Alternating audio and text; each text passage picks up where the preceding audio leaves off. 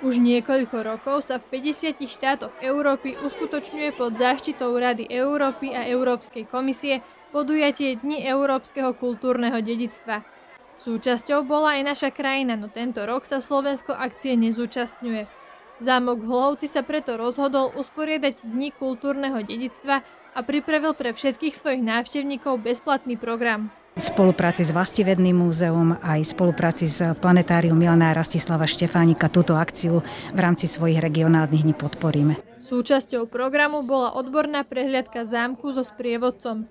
Vyskúšať si tiež návštevníci mohli aj virtuálnu prehliadku zámku pomocou tabletov. Pripravené boli aj tri výstavy. Výstava Mystérium krásy a Mystérium spásy je jedinečná svojho druhu, pretože reprezentuje vyše 30 umelcov, ktorí spojili svoju tvorivosť a zapojili sa vlastne do tej výstavy práve na našom Lovskom zámku. Druhú výstavu si v priestoroch zámodskej kaviarne pripravil dobrovoľný hasický zbor z Hlohovca pri príležitosti 150. výročia svojho vzniku.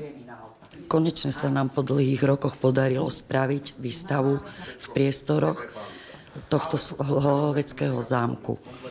Zakladateľ dobrovoľného hasického zboru bol pán grof Erdedy a založil ho v roku 1874.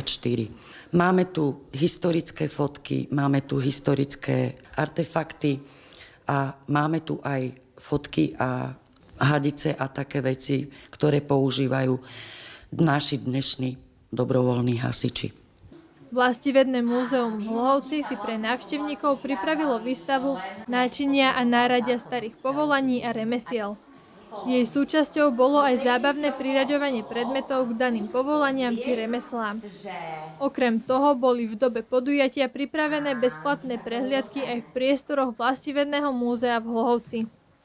Mne sa páčilo, že sme boli na remeslách a sme hádali tie remeslá a čo sa e, používalo na nich.